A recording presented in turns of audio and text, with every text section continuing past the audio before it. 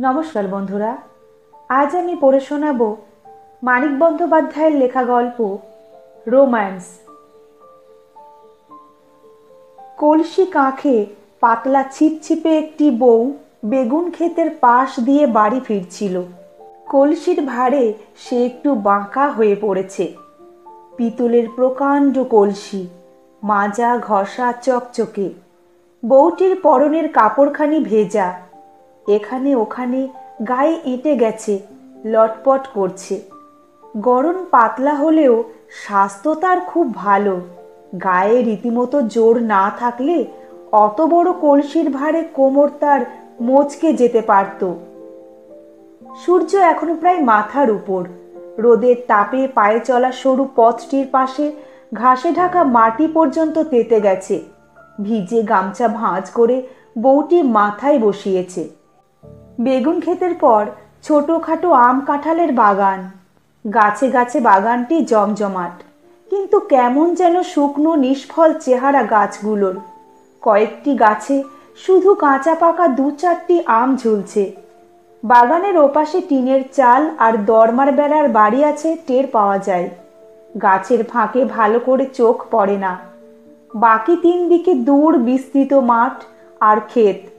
এখানে ওখানে বাড়িঘর, গাছপালার ছোট ছোট চাপড়া বসানো। বেগুন ক্ষেতের চারদিক নির্জন। দিনে রাতে সব সময় কারও কারও এখানে কম বেশি গা ছমছম করে। বেগুন ক্ষেতের মাঝখান দিয়ে পুরনো প্যাঙাশে আলকাপার উর্দি আর কোল বালিশের সরু খোলসের মতো প্যান্টালুন পরা মাঝ বয়সী একটি লোক জোরে জোরে আম কাঁঠালের বাগানটির দিকে চলছিল। বারবার সে বউটির দিকে চেয়ে দেখছে। গোপদারি চাচা এবং কানের ডগা পর্যন্ত জুল ফিতোলা। তার লম্বা ফরসাটে মুখ। চোখ দুটি বেশ বড় বড়। যদিও ছোট হলেই মানাতো বেশি। বাগানের একটা কাঁঠাল গাছের নিচে সে বউটির পথ আটকালো। পাশ কাটিয়ে যাবার পথ অবশ্য চারদিকে অনেক ছিল। পায়ে চলা যে সরু পথটি ধরে বউটি আসছিল সেটাও কাঁঠাল গাছটির হাত তিনেক তফাত দিয়েই গিয়েছে। বউটি নিজেই সরে তার সামনে আসায় এগোবার আর পথ রইল না। ও মা সুবলবাবু যে, পেন নাম। এ তোমার কেমন ব্যবহার, সুখময়ী? তোমারই বা এ কেমন ব্যবহার, সুবলবাবু? দিন দুপুরে নাগাল ধরা। দুহাতে কানা ধরে কলসিটা সে নামিয়ে রাখল। যে কাকে কলসি ছিল তার উল্টো দিকে বেঁকে বেঁকে সোজা করে নিল কোমরটা। সুবলের ক্রুদ্ধ নালিশ ভরা দৃষ্টি দেখে একবার সে অপরাধিনীর মতো একটু হাসল। অবহেলার সঙ্গে কাঁধে ফেলা ভিজে আঁচলটি নামিয়ে ধীরে ধীরে ভাঁজ খুলে আবার ভালো করে গায়ে জড়ালো। গোড়ায় তো ডরিয়ে গেলাম। কোন মুখ পোড়ামুখি মারছে গো? শেষে দেখি মোদের সুবল বাবু নিশ্চিন্দি হয়ে তখন সাঁতার কেটে চান করলাম। ফিক করে হেসে লজ্জায় মুখ নামিয়ে মৃদুস্বরে বলল, তোমার জন্যে, সত্যি, তোমার জন্যে। কাল ফিরে যেতে হলো তোমার? সুবল ক্ষুব্ধ কণ্ঠে বলল, কাল তো প্রথম নয়, ফিরেই তো যাচ্ছি। এলে না কেন কাল? রাত দুপুর তক তলায় মশার কামড় খেলাম। মা মনসা না করুন, দুহাত জড়ো করে সুবলের কপালে ঠেকে গেল। সাপের কামড়ে মরবো একদিন। সুখময়ী আফসোসের আওয়াজ করল চুকচুক। বালাই ষাট, কিন্তু কি করি? তেনা যে ফিরে এলো গো। একবার জানান দিয়ে তো যেতে পারতে। সবাই ঘুমুলে পর ঘুরঘুটি আঁধারে একটা মানুষ হাঁ করে, ঘুমিয়ে পড়লাম যে, ওনার সাথে ঝগড়া করে কেঁদে কেঁদে ঘুমিয়ে পড়লাম। ঝগড়া হলো? বেশ বেশ, তা ঝগড়াটা হলো কি নিয়ে? স্বামীর সাথে মেয়ে মানুষের আবার কি নিয়ে ঝগড়া হয়? শাড়ি গয়না নিয়ে। সুবল হঠাৎ উত্তেজিত, উৎসুক হয়ে বলল, তুমি যত শাড়ি গয়না চাও, ইস, ফতুর হয়ে যাবেন। ছায়া চাপা আলো লেগে সুখময়ীর পান খাওয়া দাঁতের ঘষা মাজা অংশগুলোতে ভোতা ঝকমকি খেলে গেল।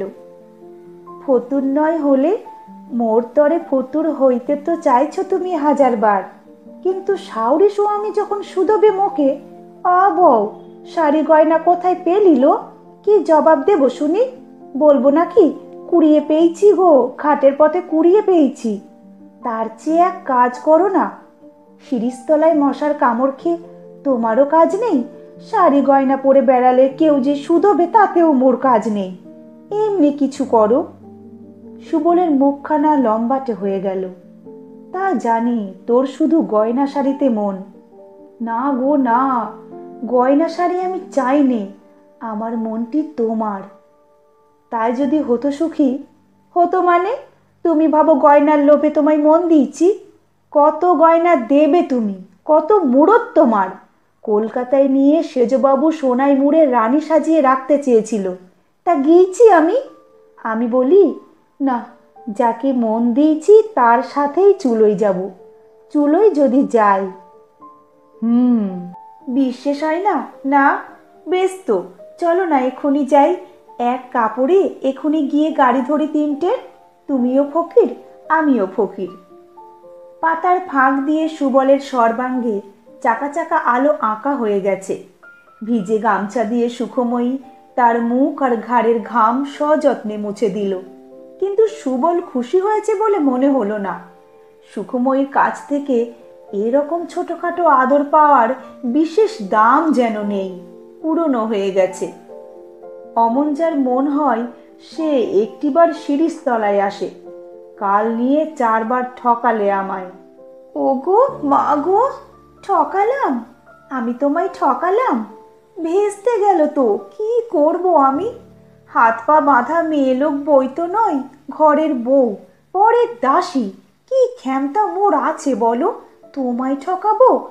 তোমার জন্য মরণ হয়েছে আমার। কিছু ভালো লাগে না সুবল বাবু এক দণ্ড ঘরে মন বসে না। মায়েরই বলছি, কালির দিব্যি। মন বলে, দূর চাই, ঘর সংসার ফেলে তোমার সঙ্গে পালিয়ে যায় বড় একটা ফাঁক দিয়ে এক ঝলক রোদ সুখময়ীর মুখ ঘেঁষে কাঁধ ছুঁয়ে মাটিতে পড়েছে। আবেগ আর উত্তেজনায় এতক্ষণে যেন চোখ দুটি তার সেই আলোতে জল জল করে উঠল। সুবল কথাটি বলে না। উসখুস করে আর এক পা থেকে ও পায়ে ভর দিয়ে দাঁড়াল। দেশ গা ছেড়ে দূর দেশে পালিয়ে যাই দেশে কেউ মোদের চিনবে না। সব বালায় চুকিয়ে দুজনে ঘর কন্যা করি। তা হয় না সুখময়ী, চারদিকে বড় নিন্দে হবে। হার ফেরা যাবে না। কে ফিরছে হেতা হ্যাঁ জমি জায়গা সব বেচে দিয়ে আমায় নিয়ে পালাবে। মোদের ফিরবার দরকার? মুক্তারি করে দুটো পয়সা পাচ্ছি? এখানে গাছের ছায়ায় গুমোট গরম। সুবলের কপাল ঘেমে চোখে এসে পড়তে চায় আঙুল দিয়ে সে কপালের ঘাম মুছে মুছে ঝেড়ে ফেলতে থাকে। সুখময়ীর ভিজে চেহারায় ঘাম টের পাওয়া যায় না। আগ্রহ, উত্তেজনা ফুরিয়ে গিয়ে সে শান্ত হয়ে গেছে। ঝুঁকে কাপড় তুলে সে একবার হাঁটুর কাছে চুলকে নিল। সোজা হয়ে হাঁটু চুল কোনো আঙুলেরই একটা ডগা কামড়ে ধরল। ঘাড় তার কাত হয়ে গেল ভাবনায়। কলসির কানা ধরে তুলতে গিয়ে সে আবার ঘুরে দাঁড়াল। সুখময়ের রাগ হয়েছে। কলসি ছেড়ে পাক দিয়ে সোজা হয়ে মাথা তুলে দাঁড়ানোর ভঙ্গিটা তার ফোঁস করে ফনা তুলে সাপের কামড় দিতে চাওয়ার মতো। কি মিষ্টি হাসেই সুখময়ী হাসল। আর চোখে চেয়ে চেয়ে দ্বিধা সংকোচের ভঙ্গি করে হঠাৎ এগিয়ে গিয়ে বুক দিয়ে সে সুবলকে গাছের সঙ্গে চেপে ধরল। মুখ উঁচু করল। সুবলের মুখের কাছে কিন্তু পৌঁছলো না। গাছে পিঠ দিয়ে সুবল তখন কাঠ হয়ে গেছে। মরছি, তোমার মুক্তারি বড় হলো? কত কষ্টে পসার করেছি, দুটো পয়সা পাচ্ছি। সুখময়ী এতক্ষণে দুহাতে তার গলা জড়িয়ে ধরেছে। সুবল নরম হয়ে আসছে।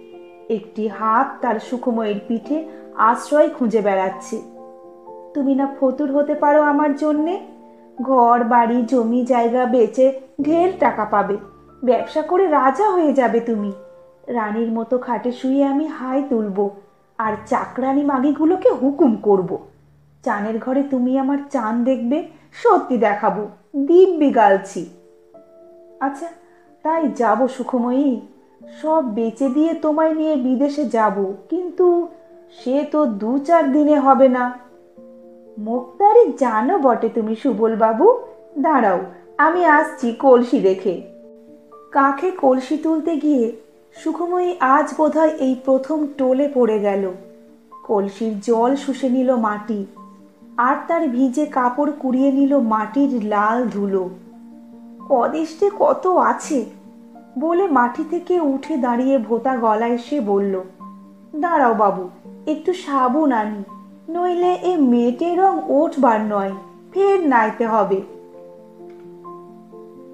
বাড়ির অঙ্গন শূন্য, ঘরের বাইরে কেউ নেই, বাইরে কেউ থাকেও না এ সময়। সুখময়ী রেঁধে বেড়ে খাইয়েছে সবাইকে, আর কোনো কাজ বাকি নেই। রসুই ঘরের দাওয়ায় একতারা মাজা বাসন ঘাটে গিয়ে বাসন মেজে এনে তবে তার কলসি নিয়ে নাইতে যাবার ছুটি হয়। কলসি ভরে জলটি আনা চাই পুবের ঘরে নটবর হুঁকো টানছে কথা বলছে পাড়ার কানাই ধরের সঙ্গে। শাশুড়ি শুয়েছে। নটবরের বৌমরা ভাই তার সঙ্গে পরামর্শ করছে আগামী বিয়ের জ্যৈষ্ঠ মাসের সাতই আসতে মাসেক সময় নেই। বাড়ির কুকুরটা উঠে এসে লেজ নেড়ে অভ্যর্থনা জানাতেই সুখময়ী তাকে একটা লাথি কষিয়ে দিল। আর সেই অবোধ প্রাণীর কেউ কেউ আর্তনাদ শেষ হবার আগেই রসুই ঘরের দাওয়ায় বাসনের গাদায় আছড়িয়ে পড়ে শুরু করল নিজের আর্তনাদ। একটু চাপা, একটু অস্বাভাবিক সুরে। ভয়ে তার গা কাঁপছিল। সবাই ছুটে এলো, একসঙ্গে শুধোতে লাগল। কি হয়েছে? বউকে জড়িয়ে ধরে নটবরের মা কান্না জুড়ে দিল। কুকুরটা তখনও কেউ কেউ করে মরছে। সুখময়ীর বুকের মধ্যে ঠিপ ঠিপ করছিল। কি থেকে কি হবে তা ভগবান জানেন। এই তার শেষ লড়াই। সুখময়ী কেঁপে কেঁপে কেঁদে বলল, বড় ভয় পেয়েছি মা, বুকটা ধরাস ধরাস করছে। কত বলি একলাটি ঘাটে যেতে ডর লাগে, কেউ তো সাথে যাবে না, নইলে কি ওই মুখ পড়া সুবল মুক্তার? শুনে সবাই একসাথে চুপ করে গেল। ইতিমধ্যে পাশের দু বাড়ির মেয়ে পুরুষ ছুটে এসেছিল। তারাও হঠাৎ চুপ হয়ে গেল জন্ম বোবার মতো। নীরবে মুখ চাওয়াচড়ি ছাড়া কি আর করার আছে, এমন একটা অসম্পূর্ণ খবর শুনে নটবরের মার কান্না থেমে গিয়েছিল। প্রথমে অধীর হয়ে শুধল, কি করেছে সুবল মুক্তার? অবৌ বাগানে একলাটি পেয়ে হাত চেপে ধরেছিল গো। কলসি ফেলে পালিয়ে এইছি ছুটতে ছুটতে আছাড় যা খেয়েছি কবার, দেখো। হাতের তালু আর কাপড়ে রক্তমাটি ও রক্তের দাগ সে দেখিয়ে দিল। কয়েকজনের চাপা নিঃশ্বাস পড়ল একটু নিরাশার সঙ্গে। কত বড় সম্ভাবনার এই পরিণতি? শুধু হাত ধরেছিল দুপুরবেলা জনহীন বাগানে মেয়ে মানুষকে নাগালা পেয়ে শুধু হাত ধরেছে সুবল মুক্তার? মামলা মোকদ্দমা হবে না। ব্যাপারটা চাপা পড়ে যাবে আজকালের মধ্যে। এ কি একটা ঘটনা? তবু সবাই ছি ছি করে আর সুবল মুক্তারকে গাল দেয়।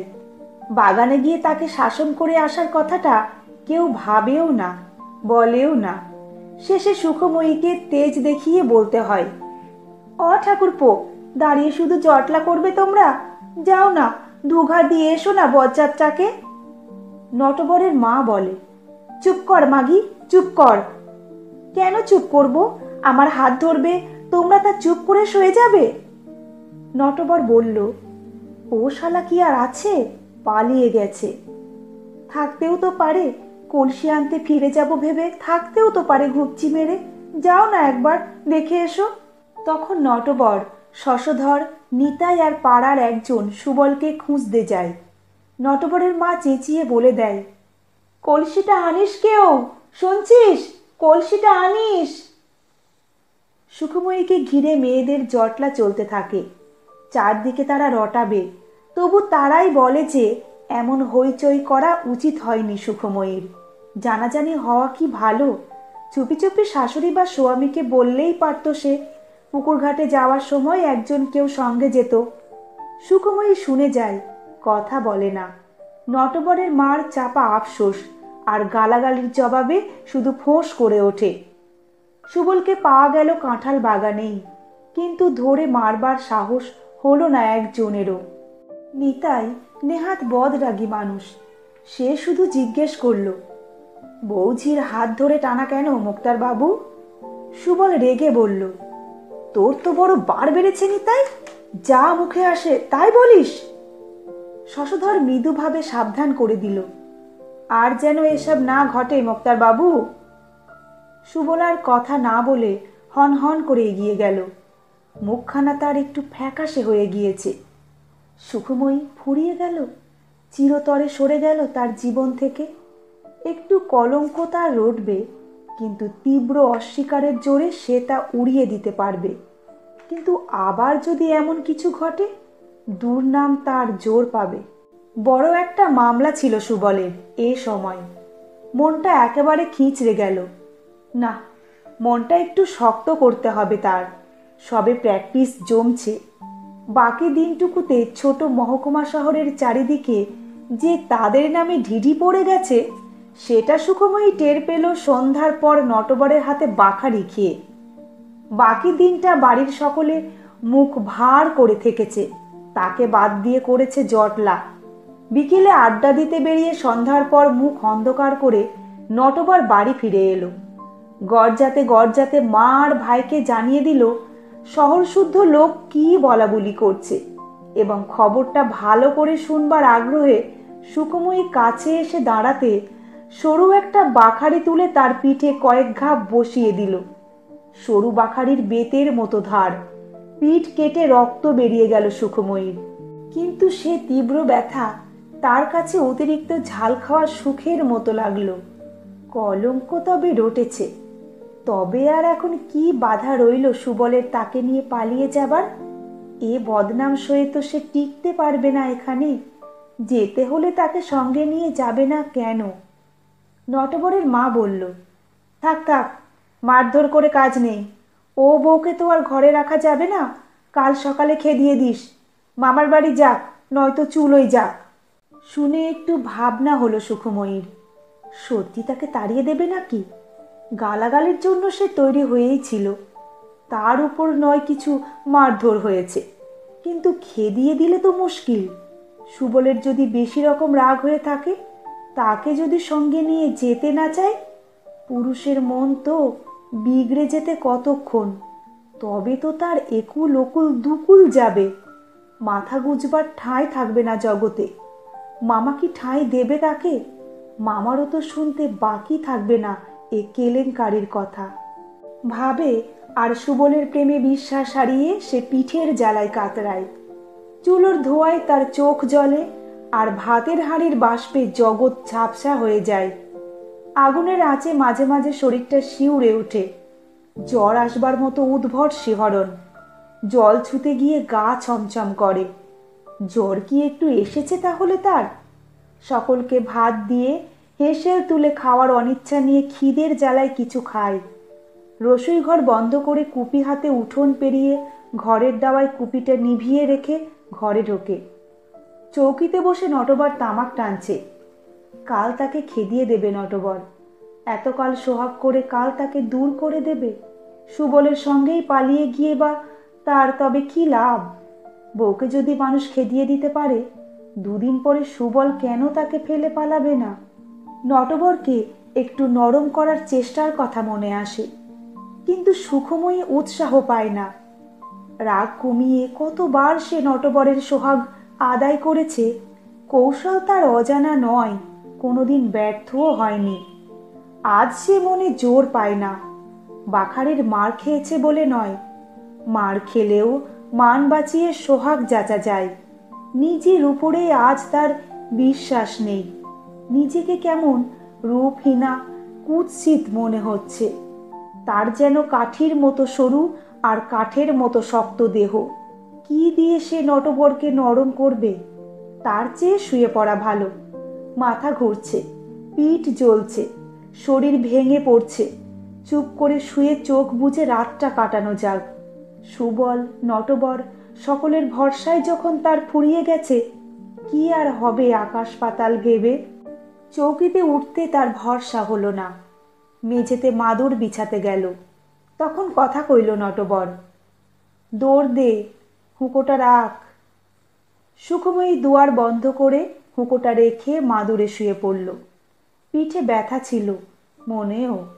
খেয়াল ছিল না, অভ্যাস মতো চিত হয়ে শুয়েই মৃদু আর্তনাদ করে সে পাশ ফিরল। চৌকিতে বসে প্রদীপের আলোতে নটবর তাকে খানিক দেখল। পা গুটিয়ে কি অদ্ভুত ভঙ্গিতে বউটা তার শুয়েছে। পিঠে ব্যথা হয়েছে না কি বউ? গোসা হয়েছে? আর মারবো না তোকে। কোন শালা আর তোর গায়ে হাত তোলে? আমায় কাল তাড়িয়ে দেবে? দূর পাগলি, ও কথার কথা বলেছিলাম। তোকে ছেড়ে কি থাকতে পারি? সুখময়ী নিজেই স্বামীকে বুকে টেনে নিয়ে দাঁতে দাঁত লাগিয়ে চোখ বুঝল মাদুরের ঘষাই পিঠে যেন তার করাত চলতে লাগল অনেকগুলো। একবার অজ্ঞান হয়ে গিয়ে আবার চেতনা ফিরে এলো। তবু সে শব্দ করল না। আর্তনাদগুলো বুকে চেপে গোঙানিগুলো গলায় আটকে রেখে দিল।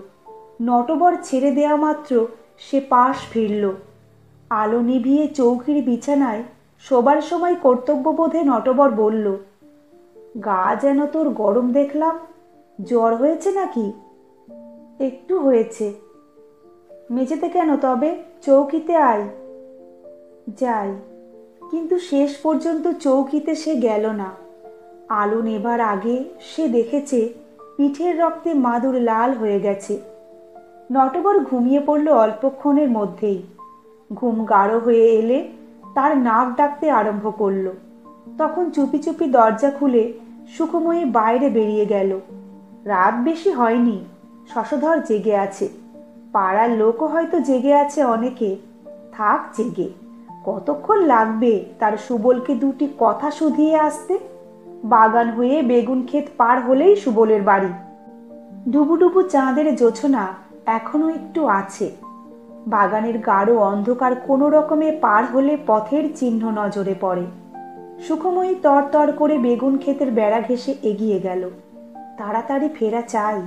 নটবরের ঘুম ভেঙে গেলে যাতে সহজ, স্বাভাবিক, বিশ্বাসযোগ্য কৈফিয়তটা দেওয়া যায়। সুবলের বাড়ির ঘরে ঘরে আলো নিভেছে। তার ঘরের পাশে গাঁদা ফুলের বাগান। একটু তার ফুলের বাগান করার শখ আছে। বাড়ির সামনের বাগানটি তার দেখবার মতো। এখান থেকে নানা ফুলের মেশানো গন্ধ নাকে আসে। প্রথম ডাকেই সাড়া দিয়ে সুবল বেরিয়ে এলো। চুপ, আস্তে, আবার কেন? দেখো, তোমার জন্যে কি মারটা মেরেছে আমায়? তোমার জন্য আমার বদনাম হলো সুখময়ী। কত ভালো বলতো লোকে আমায়, কত সম্মান করত। তোমার জন্যে সব গেল। চলো, আমরা পালিয়ে যাই। দু চার দিনের মধ্যে সব বেচে দাও। তোমার খালি বাজে কথা। সব বেচে মুক্তারি ফেলে কোথায় যাব? এত কেলেঙ্কারি হলো, চারিদিকে ঢিঢি পড়ে গেল, তবু থাকবে? কি করে থাকবে? আস্তে আস্তে ভুলে যাবে লোকে। সুখময়ী আস্তে আস্তে পিছিয়ে আসছিল। সুবল তার হাত চেপে ধরল। শিগগির ফিরতে হবে। একটু বসে যাও। বউ মরে গেছে কবে? এতকাল বিয়ে করিনি তোমার জন্যে। একটু বসে যাও। সুবলের ঘাট বাঁধানো। মুক্তারির টাকায় সবে ঘাট বাঁধিয়েছে। এখনও কোথাও ফাটল পর্যন্ত ধরেনি। ঘাটের ধোয়া মোছা, পরিষ্কার সিমেন্টও সুখময়ীর পিঠের রক্তে লাল হয়ে গেল। সমস্ত ঘাট নয়, সুখময়ীর পিঠের নিচেকার অংশটুকু। পরদিন নাইতে এসে লোকে বলল, কুকুর বা বিড়ালছানা বিয়েছে সেখানে? কিংবা বুনো শেয়াল। গল্পটি এখানেই শেষ হলো।